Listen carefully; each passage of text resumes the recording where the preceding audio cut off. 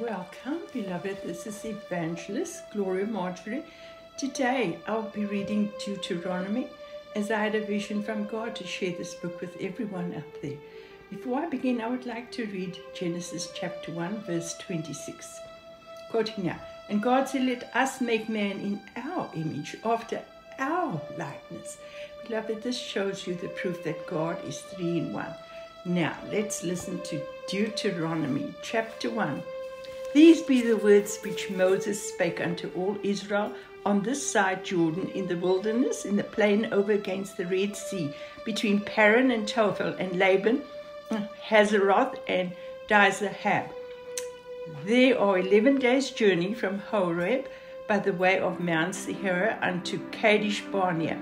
And it came to pass in the fortieth year, in the eleventh month, on the first day of the month, that Moses spake unto the children of Israel according unto all that the Lord had given him in commandment unto them, after he had slain Sihon, the king of the Amorites, which dwelt in Heshbon and Og, the king of Bashan, which dwelt at Ashtaroth in Edrei. On this side Jordan, in the land of Moab, began Moses to declare this law, saying, The Lord our God spake unto us in Horeb, saying, You have dwelt long enough in this mount. Turn you and take your journey and go to the mount of the Amorites and unto all the places nigh there, unto in the plain, in the hills, and in the vale, and in the south, and by the seaside, the land of the Canaanites, and unto Lebanon, unto the great river, the river Euphrates Behold, I have set the land before you. Go in and possess the land which the Lord sware unto your fathers, Abraham, Isaac, and Jacob, to give unto them and to their seed after them. And I spake unto you at that time, saying, I am not able to bear you myself alone. The Lord your God hath multiplied you, and behold, you are this day as the stars of heaven for multitude. The Lord God of your fathers make you a thousand times so many more as you are, and bless you as he has promised you. How can I myself alone be your cumbrance and your burden and your strife? Take you wise men and understanding and known among your tribes, and I will make them rulers over you. And he answered me and said, This thing which thou hast spoken is good for us to do. So I took the chief of your tribes, wise men and known, and made them heads over you, captains over thousands, and captains over hundreds, and captains over the fifties, and captains over tens, and officers among your tribes. And I charged your judges at that time, saying, Hear the causes between your brethren, and judge righteously between every man and his brother, and the stranger that is with him. He shall not respect persons in judgment, but you shall hear the small as well as the great. You shall not be afraid of the face of men, for the judgment is God's, and the cause that is too hard for you, bring it unto me, and I will hear it. And I commanded you at that time all the things which you should do. And when we departed from Horeb, we went through all that great and terrible wilderness, which you saw by the way of the mountain of the Amorites, as the Lord our God commanded us. And we came to Kadesh, Kadesh Barnea, and I said unto you, You are come unto the mountain of the Amorites, which the Lord our God doth give unto us. Behold, the Lord thy God hath set the land before thee. Go up and possess it, as the Lord God of thy fathers hath said unto thee. Fear not, neither be discouraged. And you came near unto me, every one of you, and said, We will send men before us, and they shall search out the land and bring us word again by what way we must go up and into what cities we shall come. And the saying pleased me well, and I took twelve men of you, one of a tribe, and they turned and went up into the mountain and came into the valley of Eshcol and searched it out. And they took of the fruit of the land in their hands and brought it down unto us, and brought us word again and said, It is good land, which the Lord our God doth give us. Notwithstanding, you would not go up, but rebelled against the commandment of the Lord your God. And you murmured in your tents and said, Because the Lord hated us, he hath brought us forth out of the land of Egypt to deliver us into the hand of the Amorites to destroy us. Whither shall we go up? Our brethren have discouraged our hearts, saying, The people is greater and taller than we. The cities are great and walled up to heaven. and moreover we have seen the sons of the Anakims there. Then I said unto you, Dread not, neither be afraid of them. The Lord your God, which goes before you, he shall fight for you according to all that he did for you in Egypt before your eyes, and in the wilderness we thou hast seen how that the Lord thy God bare thee as a man doth bear his son in all the way that you went until you came into this place.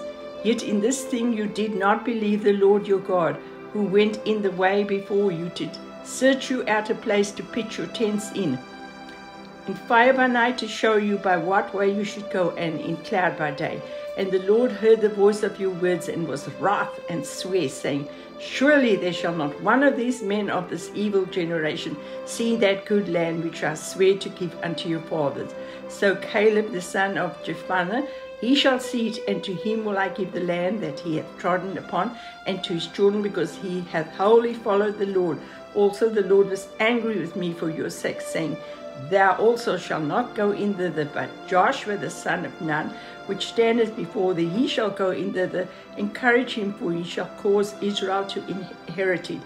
Moreover, your little ones, which you said would be a prey, and your children, which in that day had no knowledge between good and evil, they shall go in thither, and unto them will I give it, and they shall possess it. But as for you, turn you and take your journey into the wilderness by the way of the Red Sea. Then you answered and said unto me, We have sinned against the Lord. We will go up and fight according to all that the Lord our God commanded us. And when you have girded on every man his weapons of war, you were ready to go up into the hill. And the Lord said unto me, Say unto them, Go not up, neither fight, for I am not among you, lest you be smitten before your enemies.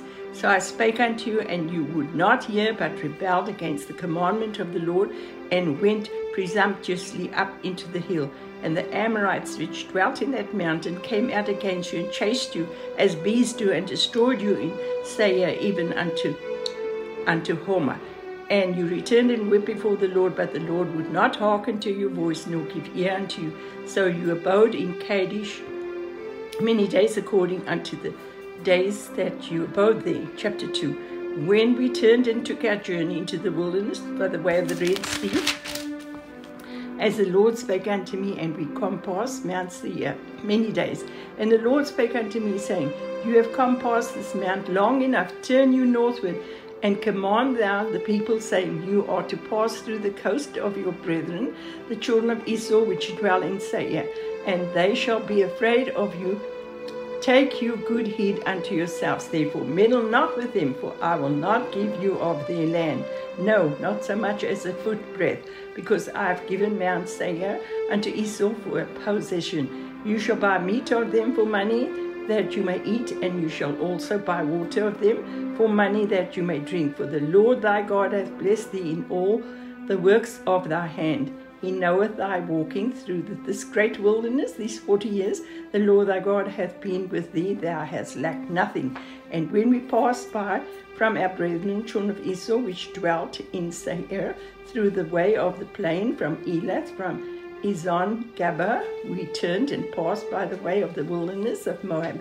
And the Lord said unto me, Distress not the Moabites, neither contend with them in battle, for I will not give thee of their land for a possession, because I have given Ar unto the children of Lot for a possession. The Emims dwelt therein in times past, a people great and many, and tall as the Anakims, which also were counted giants as the Anakims. But the Moabites called them Emims.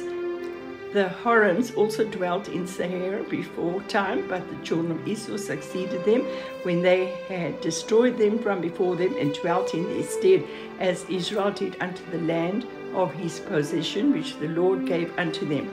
Now rise up, said I, and get you over the brook Zered.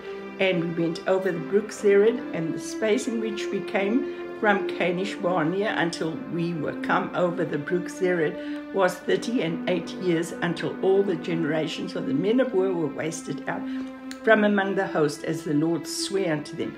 For indeed the hand of the Lord was against them to destroy them from among the host until they were consumed. So it came to pass when all the men of war were consumed and dead from among the people that the Lord spake unto me, saying, Thou art to pass over through Ar the coast of Moab this day, And when thou comest nigh over against the children of Ammon, distress them not, nor meddle with them, for I will not give thee of the land of the children of Ammon any possession, because I have given it unto the children of Lot for a possession. That also was accounted a land of giants. Giants dwelt there in, old time, and the Ammonites called them Zamzummims, uh, people great and many and tall as the Anakims, but the Lord destroyed them before them, and they succeeded them and dwelt in their stead. As he did to the children of Israel, which dwelt in Seir, when he destroyed the Horims from before them, and they succeeded them and dwelt in their stead even unto this day. And the Avims, which dwelt in Hazerim, even unto Azar, the Caphtorims, which came forth out of Caphtor, destroyed them and dwelt in their stead. Rise you up, take your journey, and pass over the river Arnon. Behold, I have given into thine hand Sihon, the Amorite king of Heshbon, and his land. Begin to possess it and contend with him in battle. This day will I begin to put the dread of thee and the fear of thee upon the nations that are under the whole heaven, who shall hear report of thee and shall tremble and be in anguish because of thee.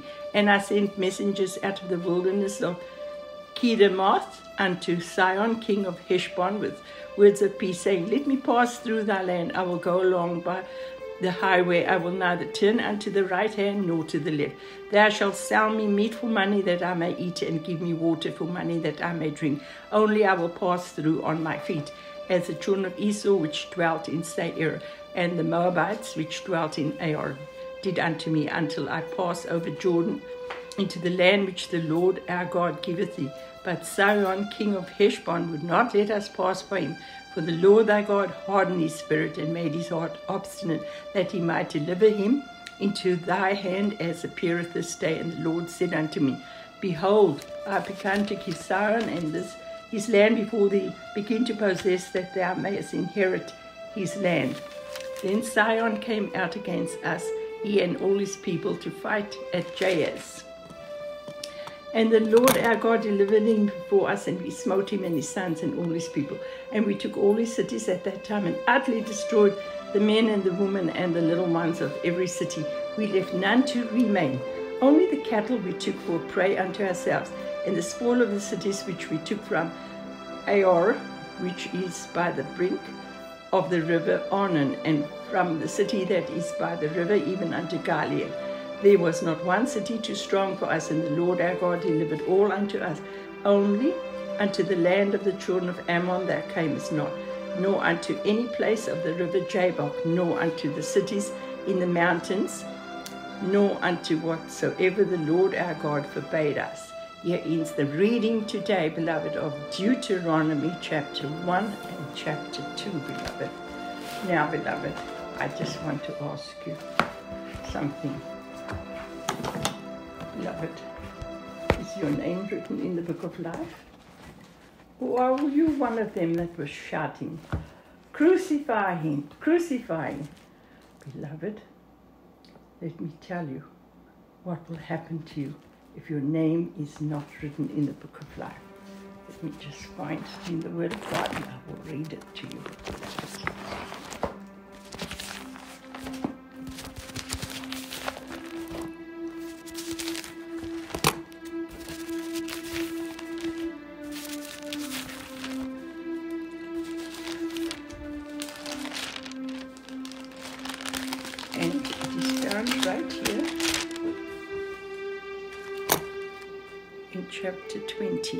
Now read verse 12 through 15. And I saw the dead, small and great, stand before God, and the books were opened, and another book was opened, which is the book of life. And the dead were judged out of those things which were written in the books according to their works. And the sea gave up the dead which were in it, and death and hell delivered up the dead which were in them. And they were judged every man according to their works, and death and hell were cast into the lake of fire. This is the second death, and here it comes. And whosoever was not found written in the book of life was cast into the lake of fire. Let me repeat, and whosoever was not found written in the book of life was cast into the lake of fire. Those are the ones that will not accept Jesus' blood sacrifice for the remission of their sins. So, beloved, I would just urge you to pray with me now. so that you, your final destination will be heaven and not the lake of fire. Father, come to you in the name of Jesus, Lord Jesus. I believe that you died to save me. And I thank you so much. I confess I'm a sinner, my Lord, and I repent for my sins. And I turn to you. I ask you to come into my heart and be my Lord and my God. Adonai Yeshua, everything you created me to be and everything you give me to use in this life, I surrender all to you, my God. Please take total control of me. Be in the driver's seat of my life. I do understand that now my body is the temple of God.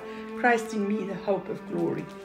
Help me to glorify you and exalt you and magnify your holy name, and as well be a witness for you. Thank you that I did not need to do anything for my salvation because Yeshua, Jesus said, It is finished. Telestai in the Hebrew. Freely I've been given. Help me, Lord, to freely give the gospel to others. So, my Lord, because your commandment says, Thou shalt not have any gods before me, I will surely not have anything to idolize. I will not love anything or anybody more than I love you once again. What can I say? But thank you so much for loving and saving me from eternal punishment. I now declare that I am a blood-bought, sanctified, justified child of the Most High God, and I wear the robe of righteousness in Christ. And so I know, Father God, that when you see me in that day when I shall surely come to stand before you, and you see the blood of Jesus for me, your arms will receive me as your very own child. Father, forever you're my God, and forever I'm your child. Jesus, I confess that you are now my Lord, my Savior, my Redeemer, my Messiah, and my coming King of Kings and Lord of Lords, and my God. Jesus, while you were on the cross, you said, Father, forgive them for they know not what they do. I'm so glad that I'm forgiven and all my praise and thanks is to you, Adonai Yeshua. You said, no man comes unto the Father but by me. Yes, my Lord, I believe there's no other way to the Father. Yeshua, Jesus, you are the way, the truth, and the life, and no man can come to the Father but by you. Hallelujah. Praise be to God the Father, God the Son, God the Holy Spirit, God the Three in One, my God, my God. Thank you for receiving me in my prayer of surrender. I know now that my name is written down in glory and that your holy angels are rejoicing in heaven. Help me, Lord, always to glorify your holy and wonderful name. And it is in Yeshua's beautiful and majestic name I pray for them. Father, thank you that for by grace am I saved through faith and that not myself. It is the gift of God, not of works lest I should boast. Beloved, pray for the peace of Jerusalem, beloved. My prayer is that after hearing God's word, you are brought closer to Jesus. God honors faith. So faith comes by hearing the word of God, channel. Beloved, if you have just prayed to receive Jesus as your Lord, congratulations. You are part of the family of God. You are the King's son or daughter. Your relationship with Jesus as your Lord will be exciting and satisfying under his guidance. So, beloved, let God's will be done for you and not your will, beloved. Just surrender all to Jesus. God's will, not our will, is always best. You will have what God says you can have. You will be what God says you can be. You will learn how faithful and good God is. Wow, heaven will be your final destination. You will be with Jesus. Beloved, this amazing, kind, compassionate Jesus who died to save you from eternal punishment wants you to spend time with him. How will you spend time with Jesus, beloved? Yes, how you read his word every day, then you pray, just talk to Jesus. Tell him everything. Jesus will be listening with love and compassion because you are precious to him and he loves you dearly. So you can say, Abba, Father, that's Daddy God. Now, beloved, when you pray, how shall you come to God, beloved? You will say, Heavenly Father, I come to you in the name of Jesus, my Lord. Why? Because Jesus said nobody can come to the Father only through. Jesus is the way, the truth, and the life. Next, you start praising, thanking, and blessing God the Father, God the Son, God the Holy Spirit. Well, beloved, now you are ready to make your request known to God. God will always listen and answer you. Sometimes the answer is yes, sometimes no, sometimes not. Now God will always do for you what is best and right for you. Don't give up. Pray without ceasing, beloved. Just have the deepest respect and reverence and worship for God. He alone is worthy. There is no God like Jehovah. Yahweh our God is God, period. The word of God says, Be still and know that I am God. Beloved, this is Evangelist Gloria Marjorie coming to you with a challenge. As Christians, we are to tell one another of Jesus. I challenge you today to tell someone, whether they be a stranger, friend, family member, believer, or unbeliever, I challenge you to tell them of God's grace, the free gift, and the promise of their name written in the book of life. Do it today, beloved, while the opportunity presents. We know not what tomorrow brings. This is Evangelist Gloria Marjorie, sending God's blessing your way, beloved. God loves you with an amazing love. And beloved, no one can pluck you out of your Father's hands. Forever God's your Father, forever you. you his child. Blessings from Gloria Marjorie. Till next time, beloved. And now, Jonathan Cahn giving the Aaronic blessing.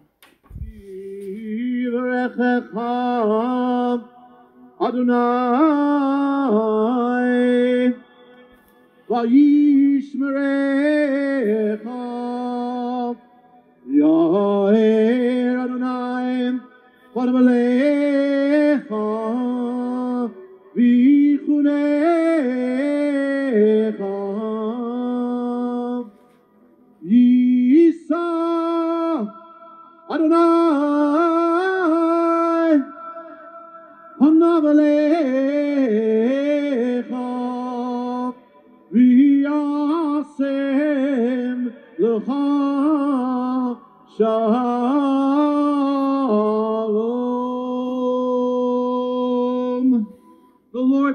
you, child of God. Keep you. The Lord cause His face to shine on your life.